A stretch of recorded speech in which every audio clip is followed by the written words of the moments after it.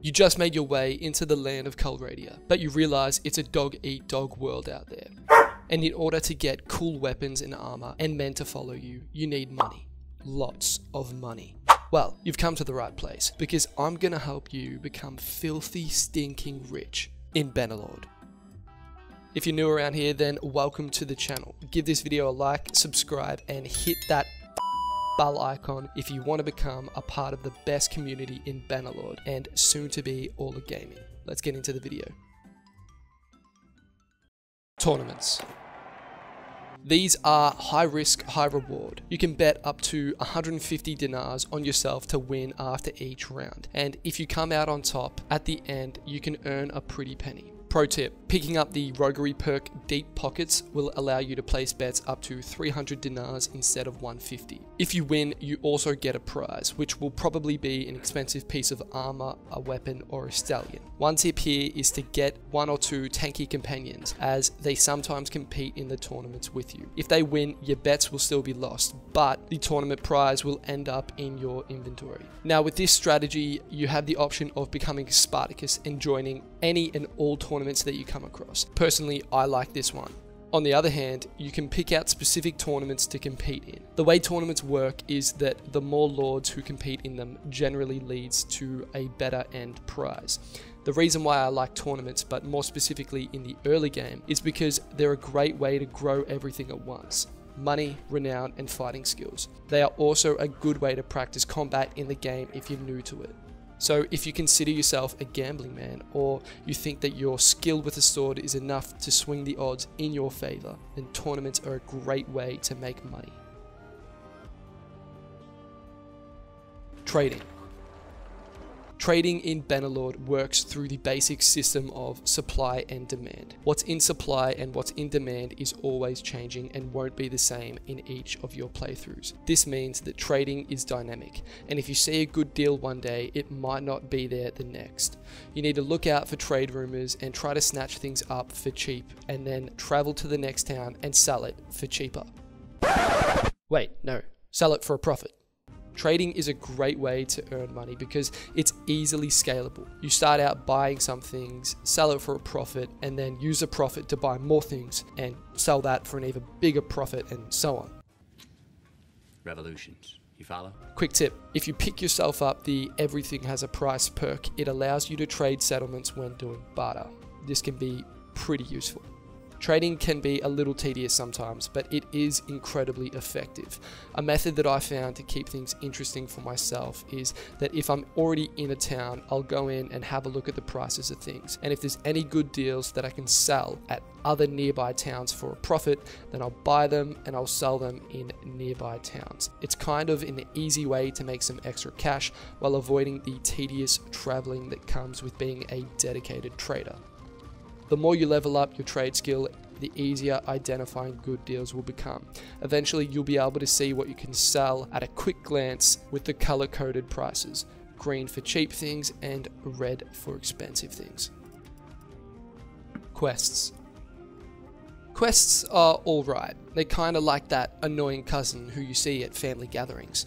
Sometimes you have a good time, and other times you wish a stray arrow from a Battanian Fian champion hits them square in the face. Now, quests are an okay way to make money. It's usually either really good or very average and extremely tedious. They aren't as reliable as other money making methods that are in this video, but quests offer you the chance to gain renown and relation with the character that you do the quest for. And if he's one of the notables, then you'll gain the option for getting better recruits from them. Quests are something that you're going to have to do in the game at some point anyway, but it tends to be the case of fishing around until you see a quest that is worth completing. You'll do a whole bunch of quests throughout the game and you'll start to get your own sense of what's worth your time and what is a hot pile of dog. Some of the different quests that you can earn a good amount of coin are ambushing caravans, Lord needs horses, and any bandit hideout quests. They can also offer some decent loot that you can then sell or smelt down. Some of the ones that I'd probably avoid would be Artisan Can't Sell Weapon quests and the Bet Fraud quests. Smithing. Smithing is hands down one of the best ways to make money in Bannerlord, but it requires a bit of time and leveling up front to start to turn a profit later on. The orders section within the smithing menu offers you the chance to craft an item for a paying customer. The orders you can complete will depend on your smithing skill level. On the bottom end of it, they won't make you an overnight millionaire, but as you go up in difficulty, you can see that the money you can earn goes up considerably.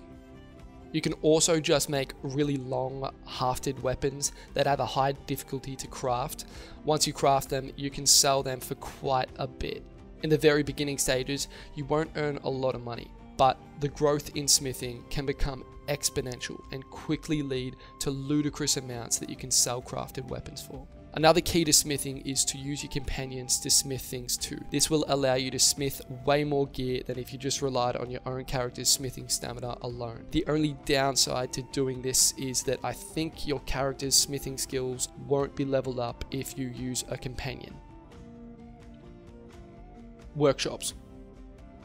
Workshops can be a great way to earn passive income throughout your playthrough, although be prepared to pay a pretty penny up front. In recent updates, TaleWorlds have changed workshops to work within the bounds of Bannerlord's in-game trade network. This means that not every workshop will earn the same amount of money. You have to be incredibly careful when you buy a workshop because if you buy one where there is high supply and low demand for something, it can literally earn you no money at all. Trust me, I learned this the hard way. The key to workshops in the current update is to scope out an area where there is high demand for something and low supply for it too. For example, if beer is in high demand, then making a brewery in that town could be a good choice. Choosing a town with a good prosperity matters too. If the town your workshop is in is constantly plagued by warfare, then don't expect your workshop to earn a lot of money. Workshops are pretty complicated, so I'm gonna dedicate an entire video on them in the future to go more in depth about them. Becoming a mercenary. In time of war, few things pay as good as becoming a mercenary, as long as you're involved with the fighting. Oh, and as long as you win too. You won't get paid much when you're dead. If you play your cards right and you keep up your influence, then you can get paid a fortune for being a mercenary. In the mid to late game, you can earn up to 20k a day. You get paid by the faction that employs you, but on top of that, you'll also get a lot of equipment from the loot in the armies that you take down. You can combine this with smithing, smelt the gear down, and then craft incredibly OP expensive gear to sell for crazy amounts. A lot of these strategies can be used in cohesion like this to amplify the amount of money you can earn rather than just using one single strategy alone. So pick and choose between different things and different links that you might see fit. Here's another cheese strategy for earning money by being a mercenary in the early to mid game. Attack enemy settlements and use the force villages to give me recruits option. Hit around 3 villages and then return to a town from your kingdom. Ransom the lords and the lower tier troops. Sell the tier 3 to 4 troops to allied garrisons via the donate troops to garrison method. Keep the recruits and a core of tier 5 troops. You can also donate any prisoners that you might have to the town too. Fight medium to large bandit parties and hit the hideouts that you come across along the way. Do this and you will grow your influence immensely, thus growing the amount of money that you're going to get paid from your faction. There are a lot of ways to make money in Bannerlord, but ultimately the choice is up to you. I recommend trying to find a balance between making money and having fun. When you get to the later stages of the game and you start to own settlements, then money will no longer be that much of an issue. Just don't forget to enjoy yourself on your journey to becoming rich in Bannerlord. If you made it to the end and you like this video, then why not join the best Bannerlord community on YouTube? Subscribe and hit that bell icon if you haven't already. I'm trying to get to 1,000 subscribers by the end of June, and at the time of this recording, we're sitting at 799. A lot more Bannerlord and Elden Ring content will be coming in the near future, so keep an eye out for that.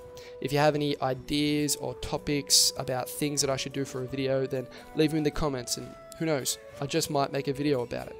Thanks for watching, guys. I'll see you in the next one.